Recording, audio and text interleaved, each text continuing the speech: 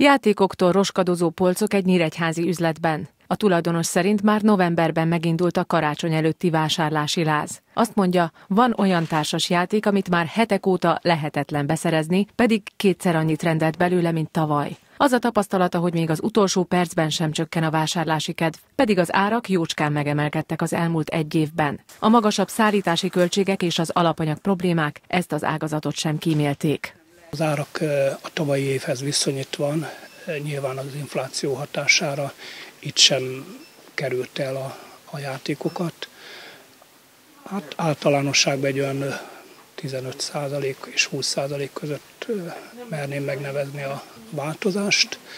Nyilván ez sok család esetében érzékenyen érinti a ajándékozást, de azt látom, hogy a, a szülők a szeretetük kifejezését, tehát ilyen irányba is tudnak vele bánni, tehát nem hátrálnak meg a változásoktól.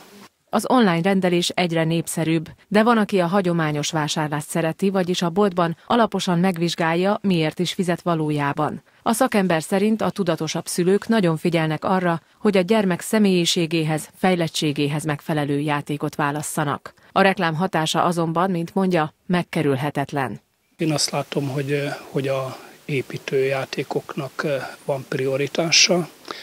A, aztán a reklámozott termékek egyértelmű, hogy azok, azok is inkább a top 3-ba jelölném meg.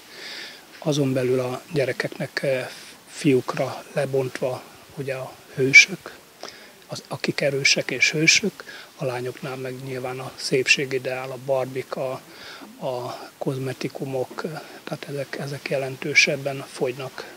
Egy friss felmérés szerint a magyarok a tavalyi 55 ezer forinthoz képest valamivel több pénzt, átlagosan 59 ezer forintot költenek karácsonyi ajándékokra idén. Ennek nagyobb része játékokra megy el. Becslések szerint a játékpiac éves forgalmának 60%-a az évvégi időszakban realizálódik, ilyenkor ugyanis több és magasabb értékű játék kerül a kosarakba.